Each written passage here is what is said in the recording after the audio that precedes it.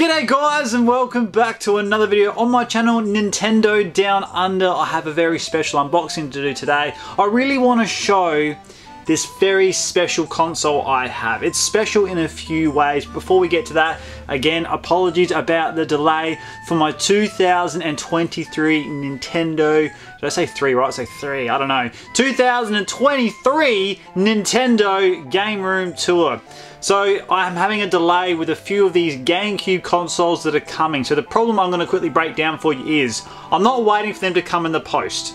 I'm buying them off somebody um, who I get a bit of stuff off, but unfortunately, he's being held up in a different state from where I live, so it's just snowballing where I can't get these consoles, but as soon as he gets back to where I live, he will drop them off. So I'm hoping that will be sometime this week, um, but there have been delays. It's been out of my control, out of their control, so we're just going to carry on and do something else, and hopefully next time you watch a video of mine, it's the 2003, not free, Nintendo Game Room Tour. But anyway, we're going to show this today. Please stick around for this because this console is very, very special. Why is it special? Well, straight off the bat, it's extremely rare. We have the Spotlight Nintendo 64, uh, I guess, special edition. What's special about it? Does it come with Banjo-Kazooie? Does it come with Pikachu? Does it come with Mario? Does it come with Donkey Kong? No, it doesn't. It just comes with a plain, generic, grey Nintendo 64. This was released near the end of the Nintendo 64 life cycle. They had a few of these laying around the factory in Australia. This is an Australian and New Zealand exclusive console and I think oh, I might have to make this look pretty to get people to buy it. So they chucked this sleeve on it that has Banjo-Kazooie, that has Pikachu, that has Mario, that has Donkey Kong. Now, what makes this special as well, not just that it's really rare and hard to find, and internationally, this console is so sought after. I've been contacted numerous times from people in Europe, people in North America saying, how much for that console? I need to add it to my rare N64 collection. Well, it's not for sale, I don't sell things, I keep my stuff. So that's why it's rare as well. But the condition is what makes this special. Really, really special because it is mint. Camera will not do it justice. You're gonna have to come around my house and have a look. and um, yeah, it's a funny joke, wasn't it? come around my house, have a look, and see how clean this thing is. The sleeve, the N64 itself, the contents, we'll go through it and have a look because it is lovely, really nice. The only little problem I have, which can be fixed, there's not many things that can be fixed and maintained with these old consoles because once there's scratches, once there's dents, once there's rips, that's it. You can't fix it. You just can't. But with this, I can sort of sort the little problem I have out. So we're going to shake, shake. Jeez, I can't get my words right today. We're going to take, not shake, this plastic sleeve off very, very gently. And just quickly, here's the back, by the way, before I take the sleeve off. Uh, Pokemon Stadium, Banjo-Kazooie, GoldenEye, Mario Kart, Donkey Kong 64 gives you a write-up of the game. It tells you down here, uh, distributed by Nintendo Australia, um, where for use with PAL version Nintendo 64 game pack only. No.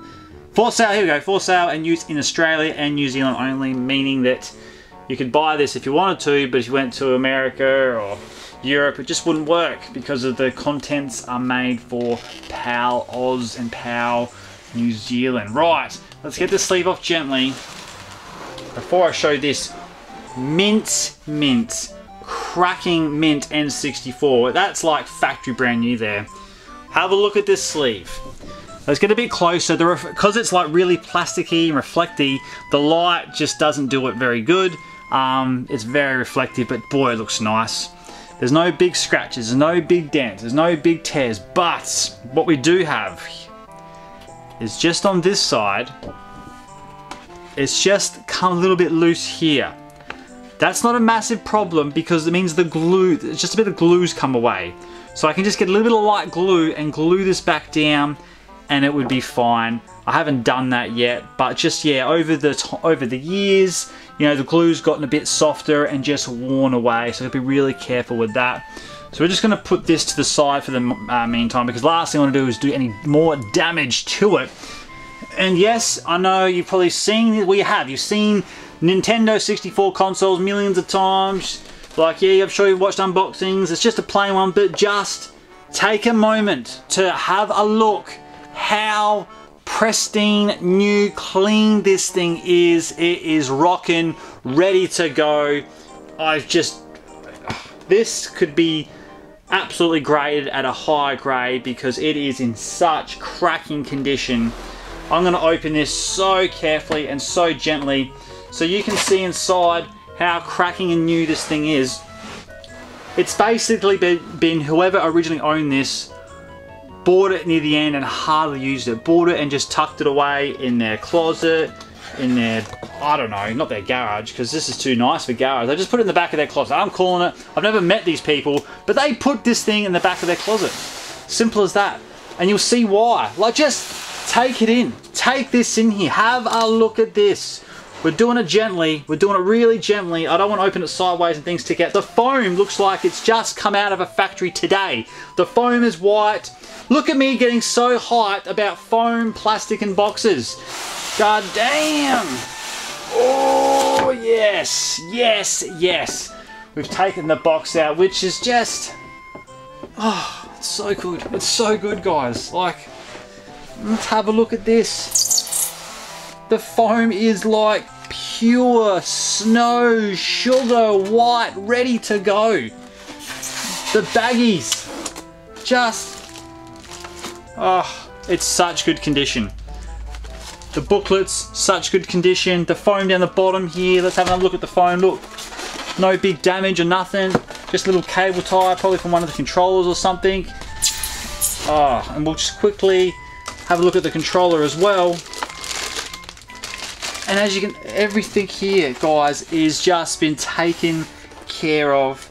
The most Mintus N64. And because it comes with a rare, very rare sleeve, oh man, it would take some serious money to get this off me. Someone has to offer me something stupid because it is just something that cannot be replaced, something that cannot be found again in this condition. It's the most Mintus N64 that I own and it's the Mintus N64 I've ever seen. Very proud of it, always keep it in my sleeve. I hardly ever unbox this thing, so it's been good to do it today. So once I've finished this video, I will put this stuff back really carefully because I don't want to do one tiny bit of damage to this thing. It's been looked after for years and it's been continued to look after in my collection. And yeah, just very, very happy with everything that's in this box.